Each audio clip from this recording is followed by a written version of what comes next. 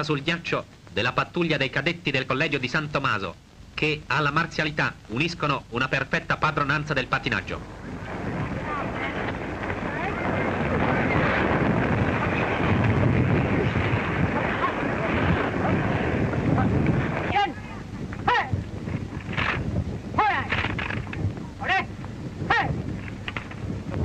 Right to left!